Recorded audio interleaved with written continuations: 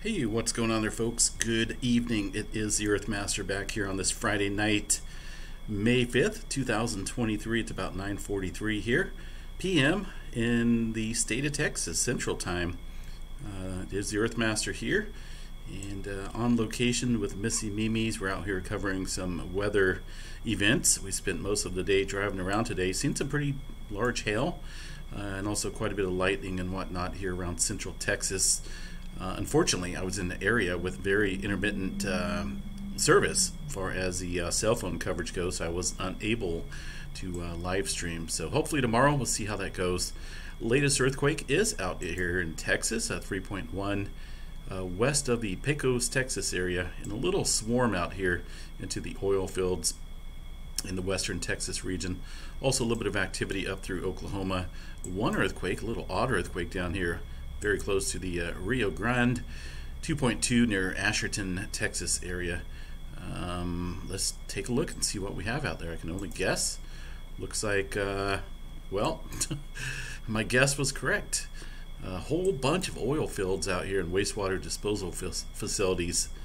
Uh, you can see these ponds out here in the desert of Texas, along with all the little checkered boxes indicating the pumping operations uh, throughout this area of Texas. So a little bit of movement kicking off here into uh, the uh, Asherton area of Texas. All right, backing out of here, a little bit of movement across the New Madrid zone. Also some small earthquakes uh, close to the Georgia area. It looks like a 2.0 and a 2.4. Um, one underneath the other here, up against the uh, kind of looks like the Lookout Mountains area. There's definitely quite a few fault systems that run through here. Right, West Coast activity where it's, I heard it's raining back home, some cooler temperatures as well. One earthquake here west of the Salton Sea near Ocotillo Wells, 2.7. Also a little bit of activity here in our swarming area just south of El Centro. Uh, no major movement though to make note of there in the southern portion of the state. A little bit of earthquake activity across the bay as well. Northern California, one earthquake south of Mount Shasta with a 2.5 near Dunsmuir. 10 kilometers deep. Nothing going on across the Cascadia for now. Uh, let's check out the tremor map here real quick, see what we have going on. 73 epicenters of tremor, uh, mostly here into the southern Oregon area, Cascadia subduction zone. Uh, some smaller microquake activity across the um, Pacific Northwest. Yellowstone did have a little bit of earthquake swarming uh, this morning. It looks like that has tapered off kind of weird how it just kicks up here for a couple hours uh, and then it just drops off dramatically. Uh, notice the USGS only put, uh, let's see, they, wow, so kind. They put two, uh, one 2.3 earthquake out there. Uh, so we got one out of probably 15 or 20 earthquakes that took place earlier this morning. Since then, not a whole lot going on. Looks like things have kind of mellowed off out there across the Yellowstone area. All right, uh, see what else we have uh, across the Pacific here. The Aleutian Trench showing some movement up here into the area. Let's see here what's going on with my map here. Are we still on the net? It looks like we are. Uh, let's go back here to... That's kind of weird. Okay, we'll just refresh it. That's even better. Uh, a little bit of movement here in the Aleutian Trench. Um, looks like a well, somewhat shallow earthquake activity. We did have 4.6 earlier this morning, along with a little swarming aftershock activity in that region. Uh, kind of the big picture today is around the Japan area. They had a pretty strong shaker uh, this morning, a 6.2 on the west coast here of Japan. Since then, we've seen uh, quite a few fours, and more recently, a 5.9 up north here, uh, just off the north coast here of Japan into the Japan Trench. So this whole area is showing a lot of seismic elevated activity here. I was watching a little article on the uh, local, I think it was the local news here in Texas, uh, saying that they're expecting some stronger tremors uh, in the days ahead. So I, I, maybe maybe they know something I don't. Either way, definitely uh, a little bit of elevated movement here across the Japan region. So keep that uh, in mind. Uh, across the Philippine plate here, down south, a little bit of activity across the Mariana Trench, 4.6. That was from yesterday, actually. Not a whole lot of movement across the uh, Java Trench for now. A slight elevated activity here across New Zealand once again.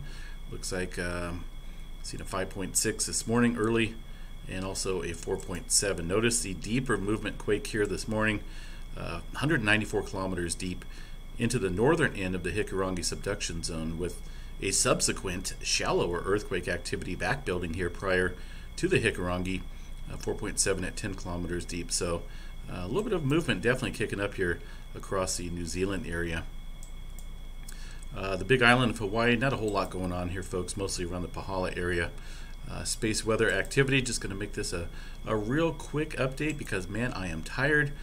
And uh, we're going to go at it again tomorrow. Looks like we are looking at uh, some elevated auroras tonight. Uh, looks like it could be stretching down into uh, a good portion of the uh, tier states here. Looks like North Dakota, South Dakota, Montana, Wyoming, maybe even uh, Washington as well. Uh, this is all coming from a CME that uh, was blasted our way. Looks like we are expecting some G1 to G2 class storming conditions here over the next couple nights at least. I don't see the most recent imagery here um, for the KP index, but I'm sure it's up there around the 4 to 5 range.